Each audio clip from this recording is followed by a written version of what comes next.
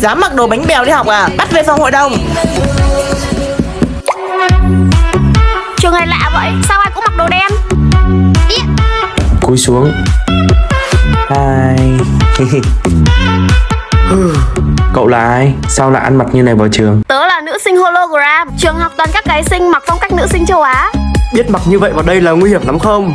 Định làm gì? Giúp cậu ra ngoài Đây là ZX, nơi tất cả học sinh đều mặc trang phục đen cool ngầu. Nhưng tớ bánh bèo Mặc đồ này có hợp không? Yên tâm Đây, Đây là, là thời trang trang unisex unisex mà,